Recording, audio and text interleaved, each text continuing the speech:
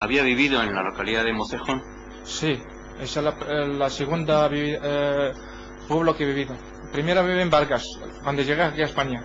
Trabajé ahí en Campín Toledo, unos cuatro o cinco meses. Y luego fui a Vargas, a, perdona, a Mocejón.